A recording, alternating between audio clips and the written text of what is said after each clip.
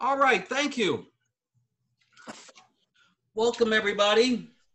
Uh, in um, full disclosure, uh, we are recording this meeting, uh, and that's for you, Robert. I want you to uh, ask your permission that we record the meeting. Absolutely. Okay, and what we Yes. do is we uh, we post the recording on YouTube, so those of us who aren't able to make the meeting are able to uh, to uh, enjoy it later. So our hero of the hour is Regina. Uh, next Tuesday, we will have our first get together, live, socially distant meeting.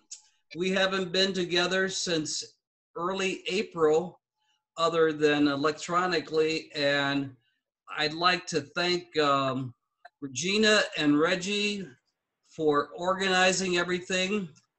Uh, we're in crunch time now, so between now and next Tuesday, they'll probably need all the help they can get to make sure that uh, next Tuesday's meeting is a success. Uh, Chuck is going to be pitching in. I'll be pitching in. And uh, all of you who are able to, um, let us know and, and uh, we'll make sure this thing happens right. So Regina, will you give us an overview of what you've been doing, what you need? And then I'll ask Reggie to, uh, to chime in. So it's, um, Regina, it's your show. All right.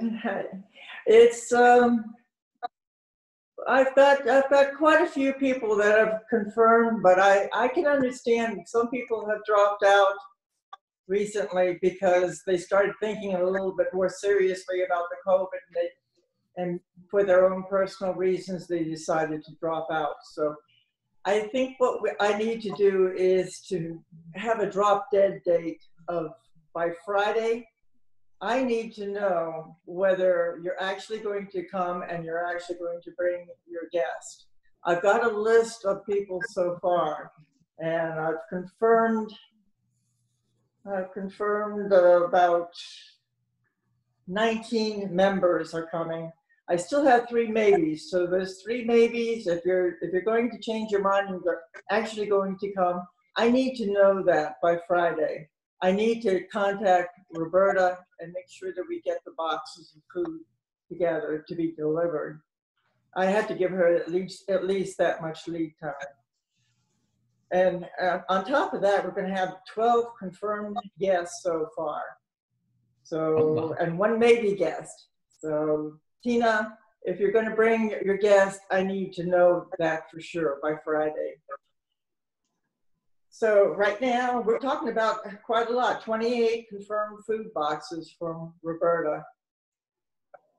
And um, it, it'll be at six o'clock in the evening. It'll be cooler then. Uh, we're going to have some music. It's going to be very simple. Bring your own chair, bring your own bottle if you wish. We're going to be sitting six feet apart but I, I think it'll be nice. It'll be nice to see everybody. And, and I would add, um, Regina, I think we should, um, wear masks. Um, if, if you're not comfortable wearing a mask, don't wear a mask, but don't cough. Um, and maybe keep your mouth shut. So Regina, question. What, what's gonna be in the box? I asked Roberta, and she's still kind of thinking it over. She, I love her chicken chicken salad thing, which is my favorite, but she doesn't want us to go with the mayonnaise because it'll probably be very hot. So she'll probably do things like roast beef, cheese, tomato on, on a sandwich, and then she's thinking of maybe something cooler like a, a fruit salad in the box, or maybe another salad on the side. She said she would bring bottled water. Okay. Let Um, me, but could I have, uh, ask a question? yeah, Paul. Since I'm, since I'm the treasurer, um, what, um, what consideration has there been to charging people for coming? Uh, and, uh, what's, what should the, the charge, if so, what should the charge be? I think people should have to, uh, put, put money on the table if they say they're coming, and virtual money is fine. Uh, but, um, that would, uh, make, make the commitment a little, uh, more, uh, strong.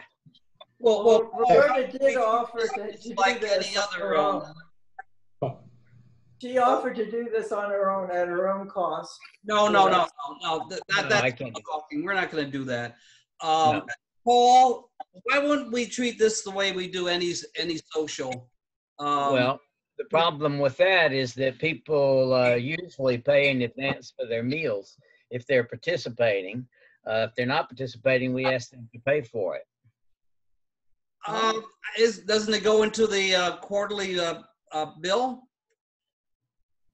Yeah, but we don't have a charge for meals this right now. Well, we'll just put it in when we, uh, uh, you, you can handle that, can't you, Randy? If we, if we note every party that attends That, the, that that's my point. That we need to make people realize that they have to commit to a certain amount of money.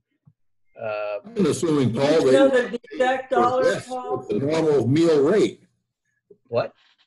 I assumed that we would, if we had a guest, we would pay for the guest at the normal meal rate. And yourself, because we're not paying for meals on our uh, dues right now. yeah, but this is a one-time, Paul. We just turn the switch on for this meeting and turn it back off. Right? And, uh, So what, what, what, yeah, okay, so we've got to pay for these meals. Fourteen is the usual rate for lunch. I think that's what we ought to pay Roberta. yeah, I agree. And, uh, and, and I think that anybody that says they're coming, that Roberta makes a meal for, uh, gets charged by Exactly. Randy. And, and they're paying for the guest also, right? Oh, absolutely. Yes. What I thought. So, um, Randy, uh, if we have to get our heads together, you, Paul, and, and, and me afterwards, uh, we'll make sure that, uh, one, we have to have a person, I bet, I bet you it turns out to be Paul, uh, counting who, who's there and who's not. So Paul, bring your, your, your notepad. Chuck will be there. He's real good at that too. Okay. Between the two of you, uh, we'll get a count. But that's the least of my concerns. My concern is that we get together, we, we're safe, uh, we catch up on a lot of recognition that, that, um, that we've fallen behind on, and we just have a good time and get out of there. Um, I would uh, also, we, we're gonna have to clean up after ourselves. So I'll be bringing some trash bags and uh, we're gonna leave the park the way we found it. Um, Reggie, would you add anything to, to the discussion? I think this is an important subject. Well, just to thank Regina again for all the tremendous work she's done. Uh, she she took this task and she ran with it, and Thank you for your gonna- guidance. it's going to be uh, it's going to be a tremendous event. Uh, we can also leave the park better than we found it. I mean, we don't have to just leave someone else's trash on the ground just because we didn't bring it. Right. We'll leave it better than we found it. That's the spirit. Um, Yeah, uh, a I'm looking forward to all of you guys having a fantastic time. Yeah, we're gonna. thought Reggie was a Boy Scout. I was a scout master. Paul, I, I have a question too about the location. I'm still fairly new to the area. When we say the park, I've heard that mentioned for where the love sign is by the beach, but I've also heard Oh, it no, no, about no, the park over by the school. No, it's Central Park, Central Park by the school in front of the gazebo. Okay, I, I just wanted to make sure I had the right place and I'm not setting up the PA in the wrong place. And in fact, uh, Chuck, I'm gonna help you out on that. We'll be lugging that over together and, um, you're not. You might consider putting it in the shade. There are trees over on the, um, I guess it'd be the south side, uh, and with a lot of shade. Uh, and we might need that that day. Well, you know, that, I, we need power for the PA system. Mm, So bring an umbrella, Paul. yeah. It's six o'clock. And Regina's going to turn down the temperature. Just hope it doesn't rain. Regina, you're in charge of it not raining, so. Okay. Uh, Uh, that might- any- Any other?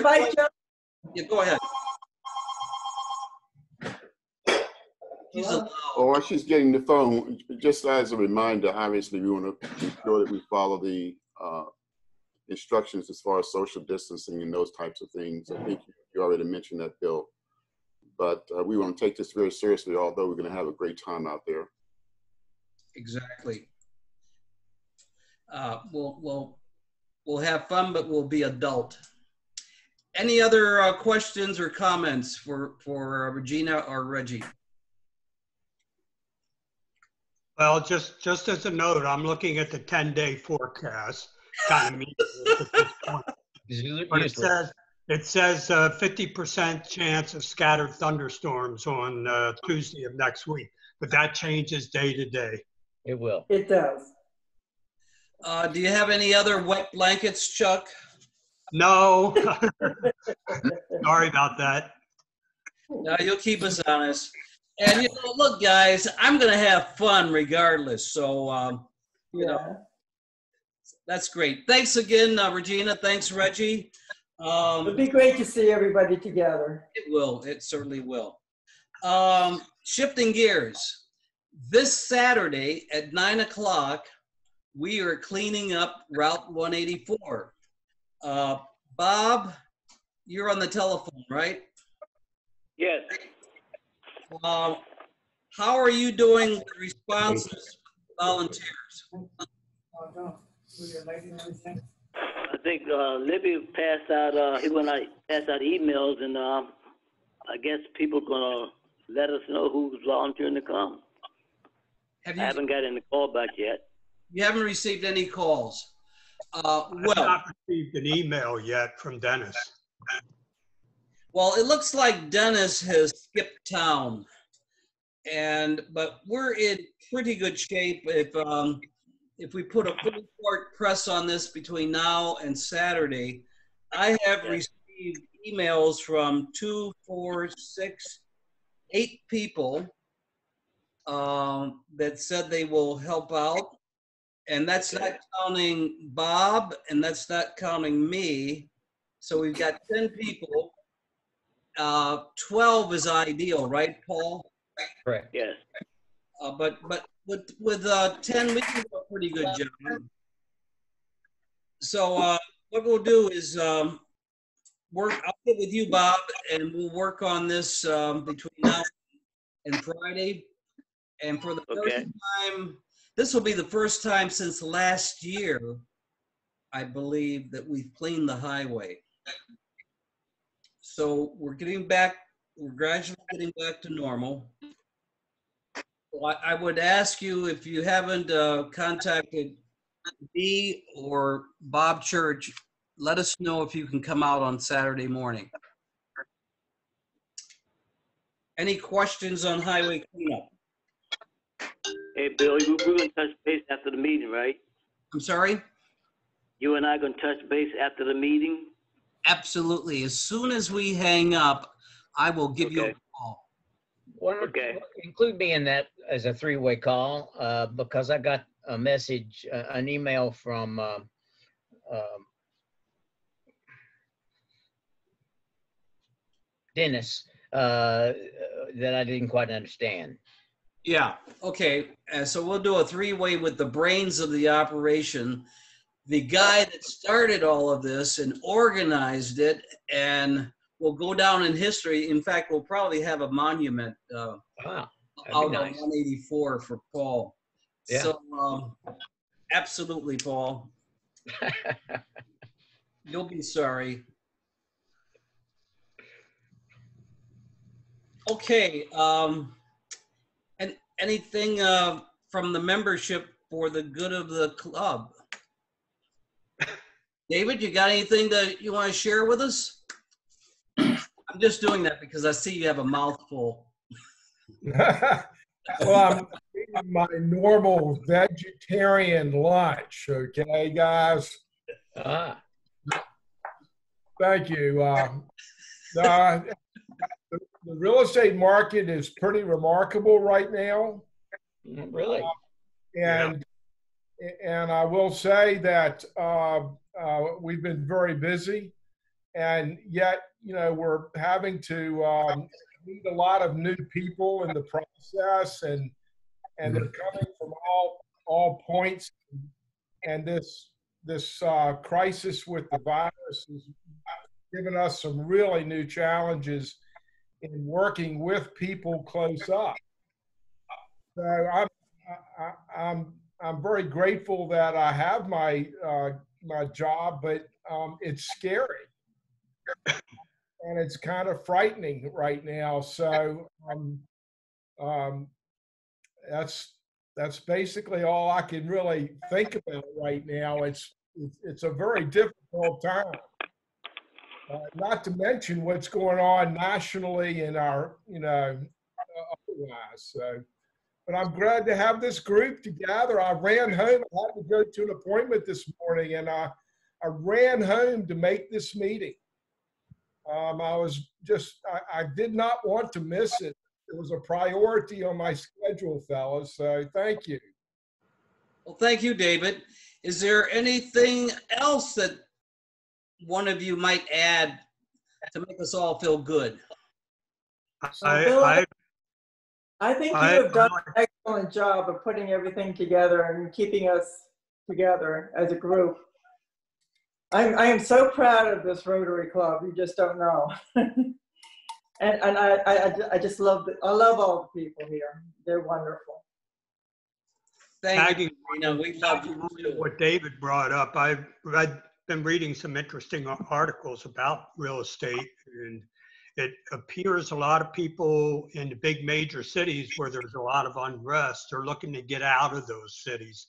So they're moving more out into the suburbs and the rural areas, uh, selling out, getting out of the big cities to uh, make a run for for more peaceful areas. So I, I would assume areas like ours are probably beginning to pick up in demand just to get away from that. Well, with technology and everything, if we can get our technology together down here, we might be able to get some of the younger, younger people. Exactly. I mean, in fact, Telework. allows you now to work from home. You don't have to go into the big city office anymore. Yeah. So you can look at that as a positive or a negative. I choose the positive. Yeah, a lot of corporations are finding out it's a lot cheaper for them. Sure. There's a silver lining in every cloud. Yeah. All right, um, once again, we're looking for a president-elect. Enough said. Okay. And, hey, John Burtis, welcome. John, turn yourself on. Thank you, sir. Glad to be here. Uh, John, I don't know if you know this, but you are heading up the nominations committee. No, not a problem. I'll just nominate you and we'll be done with it. There we go. How about Mr. Woodson? Is he available or Ed, uh, eligible? I don't know. That's a possibility. He doesn't I have to wouldn't show up, just dial in from time to time. Yeah, You know, Bob's got to be close to retirement and he has a home down here. Oh, okay. I think the timing might work out. Perfect. All right, call it done. So, you know, I'll just, I'll just remind you guys that we're working at that. Okay. Um, who invited a friend or neighbor to join this, this, this uh, meeting? Thank you, David. I have my- in the What- background what is here. You did as well, Alan? Okay. Uh, my- Seni's here in the background. She wanted to hear what Bob had to say. Ah, yeah, I see. Hi, Sini. Hi. You can sit up close. The thing is, guys, yeah, I'm not, I'm not going to be upset if they don't come, but I am upset if you don't ask. Please ask a friend or neighbor, and there, I tell you, because you have to ask people about four or five times. That's, see, you don't give up on it. you tell them what what you know great people we are, the kind of fun we have, and then you tell them again, and then you tell them again, and and in, unless they say, look, I don't want to hear from you anymore about this, you keep telling them, and then one day, it look at Al. Al's laughing because that's how I was with Al. And one day they'll join a meeting, and they'll they'll uh, they'll say, "Hey, this Rotary thing is pretty good," and they'll want to be one of us. So that's what it's all about. Um, I'm asking for a cue up here, Diane. What time is it? It's Happy Dollars. Happy Dollars. And if you don't have a reason to be happy today, I don't know, something's wrong with you. So um, I'm going to start off, and you know, Happy Dollars can be just one dollar. I will start off by demonstrating one dollar. I'm happy because my loving partner Jackie is in the office with me today. Everybody's listening in on Bob. You know, you got all these people coming. Oh, Woodson's going to be there. so, so that's my happy dollar. I have five dollars. I'm so glad that Bob could join us. Thank you, Bob.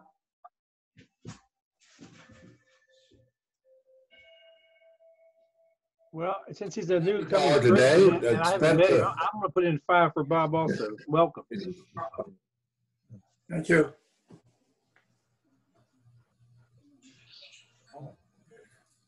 Okay, I have a happy dollar. Spent the weekend up at uh, my son John's. He's had his 60th birthday on the 4th of July. And uh, just reminded me that I am now a mature adult here.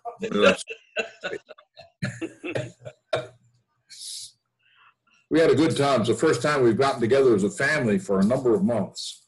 And uh, so Well, that doesn't mean you have to all act. outdoors so that we were pretty cleaned up there.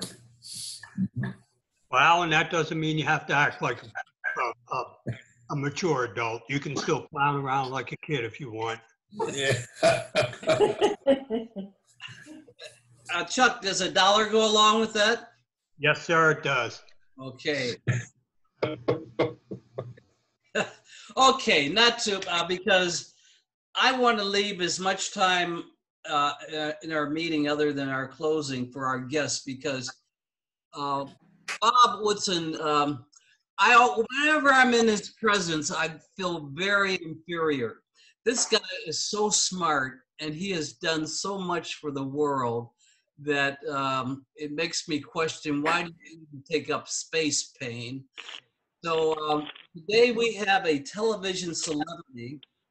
Uh, when Regina engaged uh, Bob to join us, Bob shot me a note and said that, uh, "Hey, I'm on- I'm on the um, on on the uh, what, what's that show? Um, I wrote it down. Uh, Lou Bob, Lou Dobbs. yeah, Lou Dobbs. Lou- I'm not a big Fox News uh, guy, as you might imagine. That doesn't, that does not surprise me. but Bob is a regular on Lou Dobbs's show every Wednesday at 5:30. And when we were when we were chit chatting before, uh, you're on another television show, right, uh, Bob? And You he's know, on Tucker and Mark, they're all Fox. Wow. So, guys, uh, we're we're delighted to uh, that that Bob has taken time out to share with us uh, a bit of yourself, Bob, first, um, and and some of the things that you've been doing over the years, and what you would anticipate going forward. So, uh, it's twelve thirty. You've got probably as much time as you want. So, welcome. Okay. Well, I'm always pleased to uh, address my neighbors of the South. Um, We've been down Bay Creek about 15 years. We built and enjoyed coming down. My daughter was a student at Hampton. That's how we got interested in, um, in coming down. And, um, but I am uh, from Philadelphia, Pennsylvania. Um, uh, born and raised there in South Philadelphia at the time of segregation. Uh, but we lived in a close knit neighborhood, all blue collar. Uh, every household had a man and a woman raising children. We were broke, but not poor. Uh, my dad died when I was nine and left my mother with, with a fifth grade education and five children to raise. And then I uh, quit high school at, at 17 and went into the military, finished uh, in, the, the GED in the military and worked. Uh, my form of affirmative action was driving 60 miles to and from college and a job, uh, taking courses all summer. So we were able to finish in four years and then went on to graduate school. But I got involved in the civil rights movement uh, in uh, West Chester, Pennsylvania. That's the home of Bayard Rustin. And so I was able to meet Dr. King once through that relationship with Bayard Rustin. Um, but I became very disenchanted as a young civil rights worker um, during the 60s over the issue of force busing for integration. Uh, I was never a, a, supporter of force busing for integration, and that put me at odds with other civil rights uh, uh, leaders uh, because I believe that the opposite of segregation is desegregation and it's not integration. And so I believe that if you set up established centers of excellence people will be drawn to it, and the byproduct of pursuing excellence will be integration. Everybody wants to cleave to excellence. So if you create excellence, people will come to it. But that put me at odds with the civil rights community, and some of them said to me, well, Bob, your position are consistent with that of the Klan and the John Birch Society, and so maybe you need to rethink your position. And my response was, if you tell and pursue the truth, it shouldn't be influenced by who agrees or disagrees with that truth. If it's true, it's true for you. Other people may share those views for different reasons, but that's their problem and not my own. And then something else happened that emphasized uh, the class element of the civil rights movement that people don't talk about. That I led demonstrations outside of Wyeth Laboratories, this pharmaceutical company in town. And after two months, uh, they desegregated their workforce, but they hired nine black PhD chemists. And we approached them to join our movement. They said they got these jobs because they were qualified, not because of us. And so then I realized there was a huge class divide that the when it was convenient, middle class people like myself who were leading the civil rights movement used the demographics of low income uh, blacks to make a case for services and money to be spent. And so, in one sense, low income blacks were used as the bait, and the switch occurred when the money was going to be spent. And so, what happened, as Dr. King argued, what good does it do to have the, the, the right to eat in a restaurant of your choice or to live in a, in a, in a neighborhood of your choosing if you don't have the means to exercise that right. And so when Dr. King died, he was he said, open your doors of opportunities are insufficient. You must prepare people to walk through the doors of opportunity, either through training or be equipped with the proper attitude. And so those two things, and so after that unfortunate experience with those chemists, I realized that I was in the wrong struggle. So I changed from dealing with uh, race as the essential barrier to people participating, I began to reach out and work on behalf of low income people of all races. And so I achieved my first uh, national program working for the Unitarian Service Committee in Boston, where I traveled around the country uh, as a national program director, and I was working with Cesar Chavez and the farm workers. I worked with Native Americans when they took over Alcatraz. I worked with uh, uh, low-income blacks and, and, and Hispanics all over the country.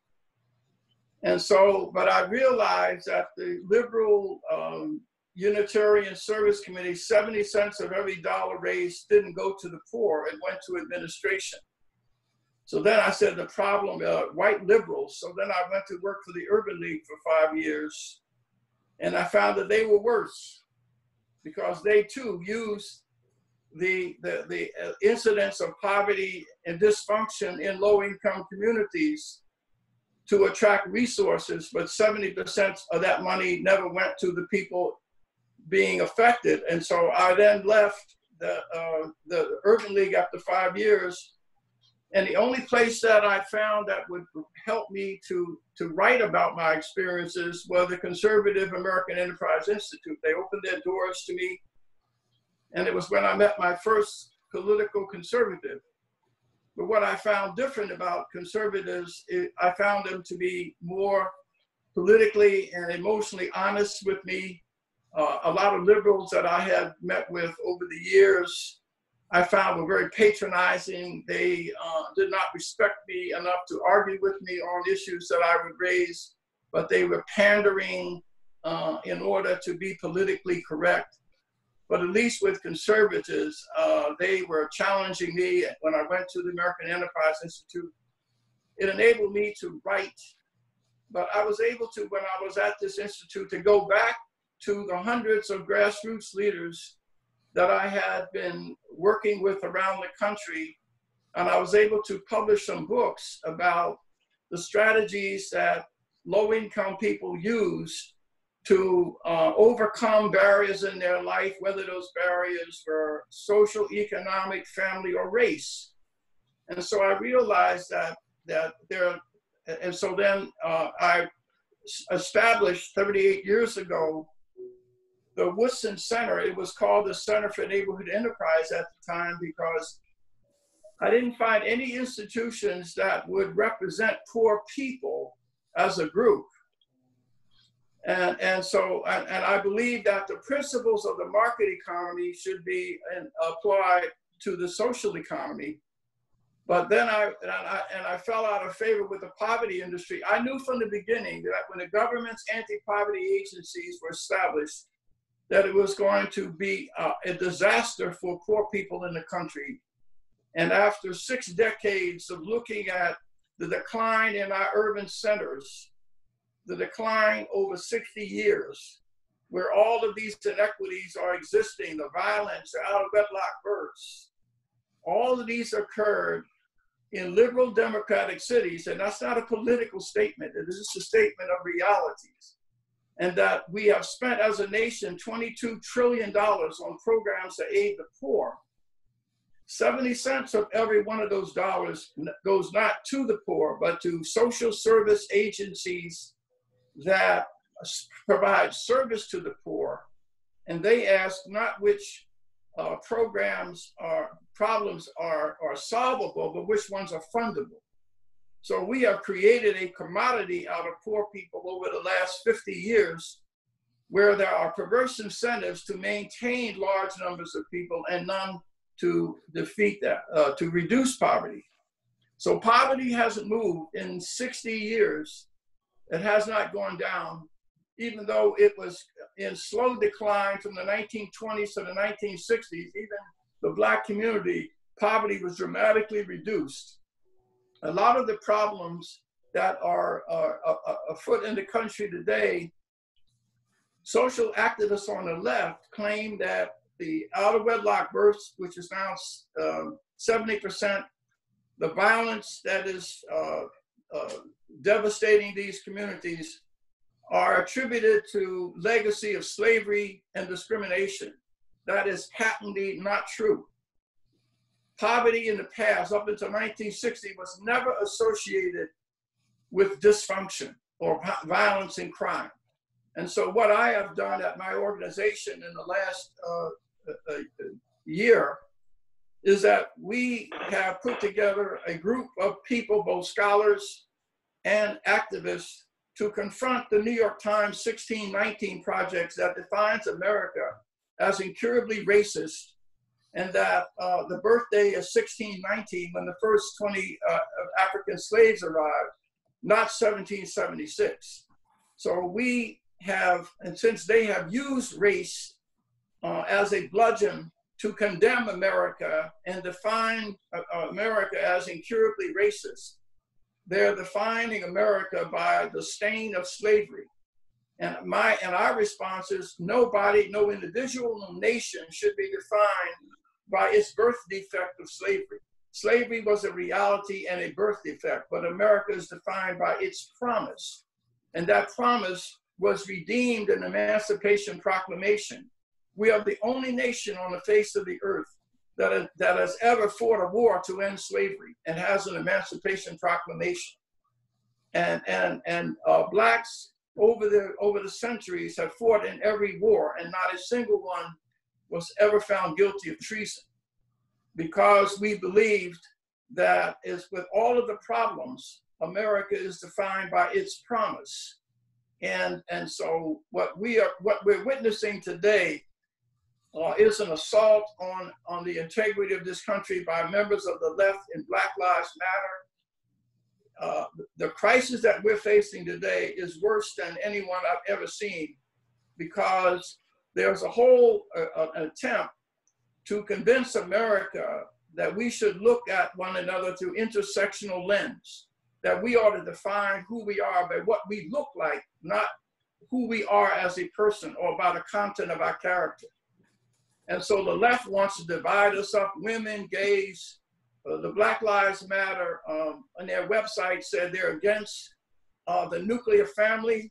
It's patriarchal, it's, it's, it's Eurocentric and therefore racist. They say the American free enterprise system is oppressive and therefore what they're advocating is, is, is really socialism.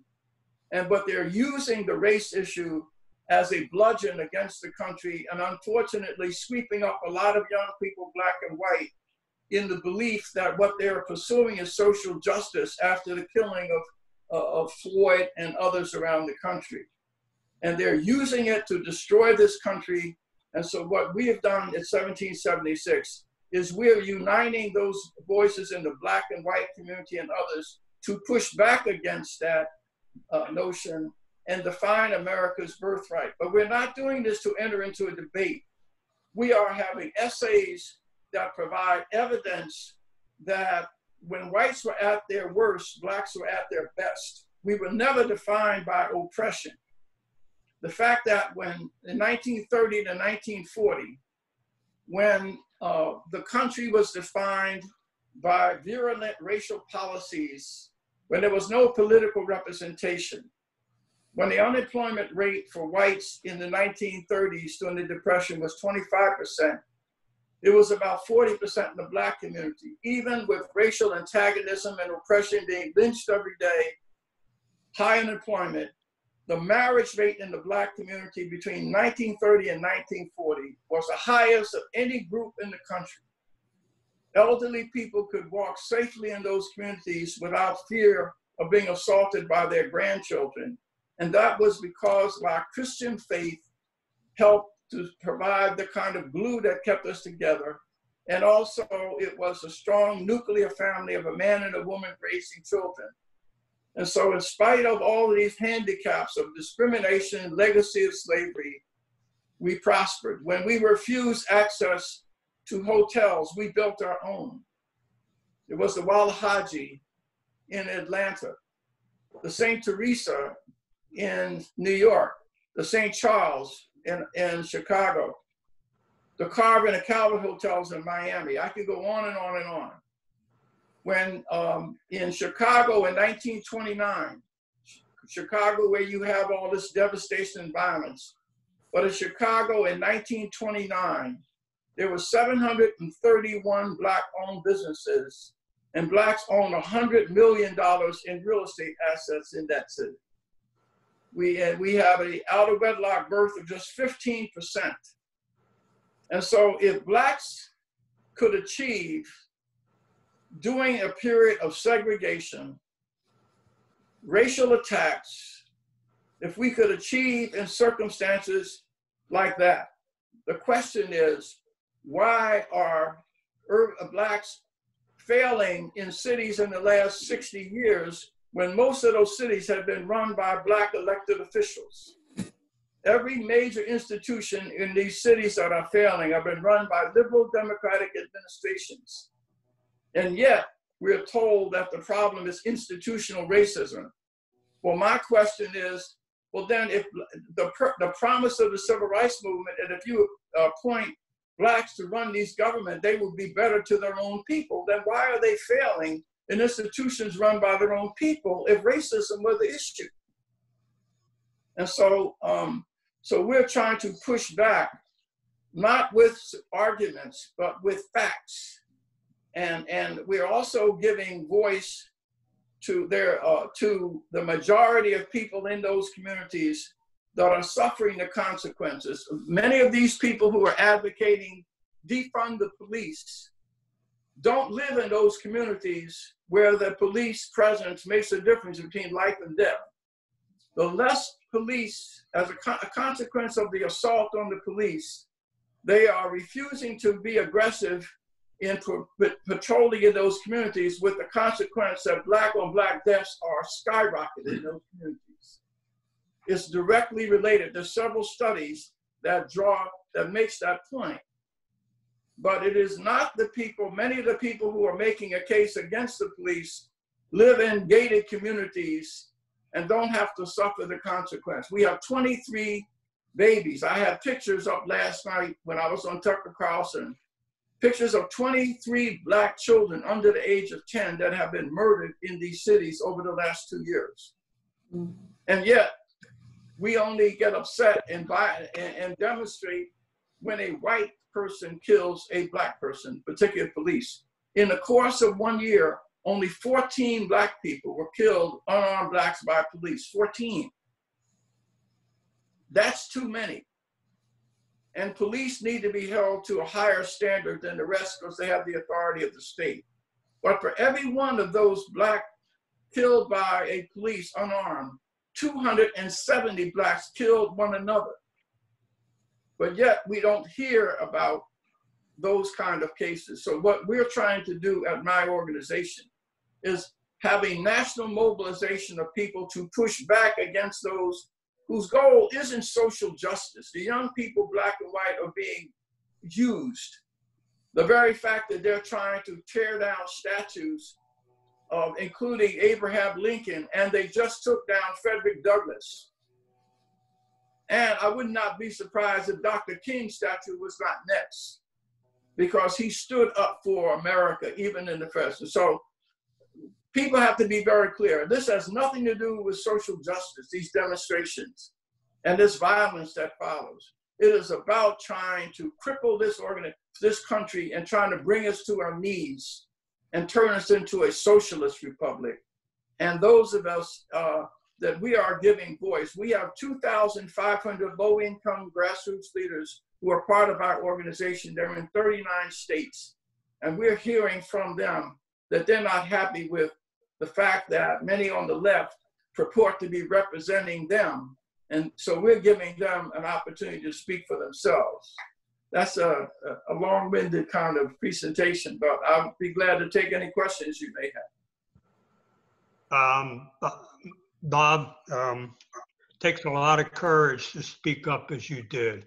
And all I can do is tell you, sir, I appreciate it and thank you very much.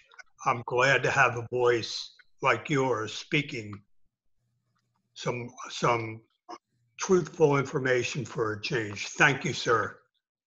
Okay. Well, I'd like to speak. I am quite disturbed by your point of view because I am currently really exploring the history of Cape Charles during the time of the Jim Crow era by writing Tom, Tom Godwin's autobiography or memoir. I have been acquainted with the situation for Blacks in, in, in the Cape Charles during the Jim Crow era. Anyway, it seems to me that, uh, that the Black community in Cape Charles did did have businesses, but they never really kind of thrived because only up to a certain point blacks are in a way permitted to be successful. And once they begin to be competitive with the white uh, establishments, they, they, they, are they are they are uh, well they are prevented from becoming more successful as they are and and, and separate but equal really isn't equal it's always a less than less than the the white community can be afforded. So Well, I'm, I'm sorry. so I, what I'm saying is that the legacy of slavery really still affect the, the, the, the issues today because it's only been really 50 years or so that that the blacks have been able to exercise their voting privileges and, and have access to, to, to these privileges legally. But then the attitudes still remain, and that's really what's very difficult to, to, to address. Well, well, the facts don't support that, ma'am. The facts do not support that. That that the blacks thrived and achieved. We have uh, in so many examples um, of people who have thrived. There were 20 blacks who were born slaves who died millionaires. We are doing document. I mean, so uh, we have never no blacks have never been totally defined by oppression but we don't document, we don't look for examples of people who are achieving against the odds. Yes, it was, and it, the truth of slavery and discrimination needs to be told, absolutely. But you can never, in other words, the worst thing we can do to our young people today is what the left is doing, is say to them that because of the legacy of slavery and because of Jim Crow, you are exempt from any personal responsibility to, to, to elevate yourself. That somehow what the left in 17, 16, 19 is saying is that black, uh, uh, whites owe uh, blacks reparations. Everything is, you can never turn to, in other words, if, if you were mugged by someone on the street and you lay there and wait for them to come and pick you up, there's something disturbing about that expectation. That life may have knocked you down, but you have to get up. Well, I was just watching Thurgood Marshall's movie last night, and even even Thurgood Marshall has faced this kind of, of treatment when he was fighting for civil rights, and that and that really blacks can did not fight because it was futile to fight because of the the tremendous power that's exercised by the white community in the laws and therefore it's survival not to fight and many blacks still cannot look people directly in the eye at this point because that was part of the upbringing i believe of black children that may be true, but unfortunately, a lot of the messages that keep them from looking up are coming from their own people. Well, precisely because that well, is that is, that is something that we have to stop doing. We have to stop saying to our people that your faith is determined by someone that does not like you, and that somehow uh, it- it- you you surrender power to somebody else. You say, well, unless white people change, I'm incapable of changing. Well, that, that, that to me is the ultimate expression of white supremacy if you believe that your faith is determined by someone that you identify as your enemy. but it seems to be that uh, someone was being traumatized for generations, that one just cannot get rid of that. And the, the, the successful people that you are citing are really the exceptions to the rule. Well, then, but all of us learn from exceptions, don't we? I mean, the Well- people who make the greatest contributions are the people who are the exceptions. We need to look at the exceptions But and not ask everybody is ourselves, what is exceptional. Oh, I mean, the average people are not exceptional that they can overcome every every oppressive element. but you have to act as if they are capable of doing it. That's the Well- point. You have to create the expectation that everybody is capable of, of achieving. Uh, and so that's what we do at the Woodson Center. If you say that 70% of the families in these communities are raising children that are not being responsible, it means 30% are. So we need to go into the 30% of the households that are functioning and successful to find out what it is that they're doing living under the same circumstances, but their response of it is, is positive. That's, that's all the point I'm So what did you find out was responsible for them continuing to live in poverty? It's Some of them are self-generated. Many, I'm If- if going to, uh, Many and Bob, I'm going to inter, interject because uh, I think we should give an opportunity to Yes, other members who might want to ask Bob a question or two because we're running toward the end. And Mitty, I'm sure Bob would be delighted to, to continue the, the dialogue uh, the next time he's in town. I will take you both to lunch. Hey, Bill, I I would like to uh, interject for a second, if I may. Please. Yes, I- I'm sitting here listening to this, and I mean, it appears to me that, that perhaps Mehdi and Bob are really talking about similar things. You know, our minds are programmed from the time that we are born. And, you know, a lot of it uh, is in the subconscious mind. Okay, most of it is in the subconscious mind. So in that case, you know, we have to rewire that mind. We have to learn to reprogram that mind.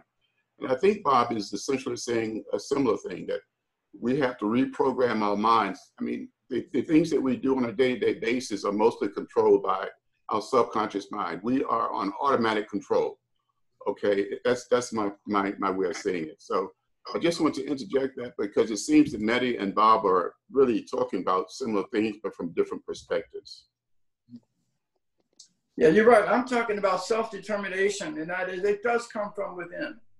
I found that even people who are affluent, white, living in Silicon Valley, their teenagers there have or commit suicide six times the national average. So having a, a, family and wealth and, and, and both uh, two parent households with a, and both parents with a master's degree with a median income of 180,000. There's a there's a thirst for content and meaning to one's life that uh, wealth and privilege does not protect you from it. But the woman who's lost a daughter to suicide in Silicon Valley and a black woman who lost her daughter to homicide in the inner city, they have more in common than they do differences. That's right. Mm-hmm. But if we keep emphasizing our racial differences, and we will never, never come to grips with answering the question, why, what, what content in, in our lives would cause us to live a more complete existence? I'm going to ask for one more question. It's one o'clock, but I'd, I'd like, um, if anyone has a question to raise it now. Yes, uh, Bob, Bob Church, I have a question for Bob. Hey, Bob, how can we contact you?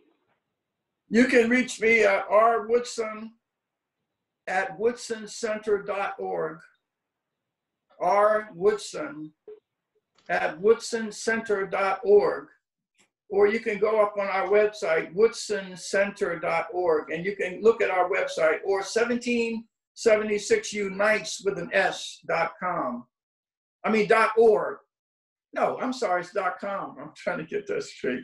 Yes, 1776 unites.org, no, dot com. Oh, And just you- found you on LinkedIn. So again, You're on LinkedIn too. yeah, I'm on LinkedIn and Twitter, the whole thing. Hey, Bob, what I'll do is, um, I'll get that, your contact information out to the membership. And, Great. I- and I would like to, after we have, um, digested some of this over the months, I'd like you to come back and talk to us again because you speak the truth. Um, some of us might not like the truth, but facts are facts. And I've always been one, um, you don't get anywhere arguing. Uh, you, know, you just get tired arguing. But if, Well, uh, this, this is Diane, and I, I want to make a statement or a comment before we close on this. Bob, I respect that you have, have an opinion on what you've presented, but you've made some sweeping statements to which I do not agree. They have not been my experience, and many of the things that you have said can be refuted. Unfortunately, I'm not one who can engage off the top of my head to challenge what you're saying, but I felt it was important to say that because No, I agree with you, not in agreement. But uh, that's why There- I, there I do it some- publicly. Let me just say that everything that I say, I have carefully documented. And I, I would delight with anyone who wants to challenge it, but please don't challenge it based upon your opinion alone. But please challenge it with alternative sets of facts. That's I all I, am happy to do that, and I'm That's- certain that you have I documented things. challenge. I'm certain you have things documented. I could do the same. That's not my Well, then, saying That's that. what But I felt it was, if I may finish a sentence, please. I felt it was important to express a differing opinion because I would not want anyone in our club to think that I, Diane Dawson, am in complete agreement with some of the sweeping statements that you have made. I appreciate that you have an opinion, have no problem with that, but there's a difference between opinion and fact for both of us. Thank you, Diane. well, I hope that they'll be laid side by side so you all can make up your own minds. That's all we. Bob, at, at this juncture, I, I'd like to uh, thank you for joining us. And um, you're going to come back. I'm going to have you back after we've had a chance to uh, kind of uh, soak up what you've said uh, because it, you, it's a lot to absorb in one sitting. And hopefully, we you've um, aroused our thinking, and we will go to your websites and we'll talk amongst ourselves. But I'll, there's one, there's one truth is we're never going to agree about everything. And I'm very happy the world is that way because this world would be so boring if we all thought the same about everything. But I tell you, we're not too far apart, my friends. So with that, Bob, thank you so much. Uh, we will Thank you. Information uh, out to the club and uh, we'll be doing this again down the road. So Maybe we can do this in person sometime. Ah, man, that would be great, wouldn't it? I, I come down all the time. okay. Well, you take care of, the coronavirus, and we will do that, Robert. All right then. See ya. Okay, Diane, uh, I'm queuing you up. With respect to what we think, say, and do, one, is it the truth?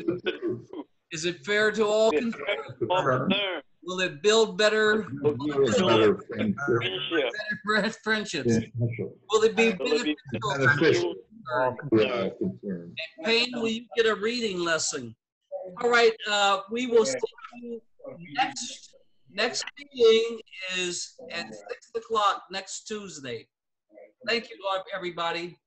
Thank you all. Okay. You.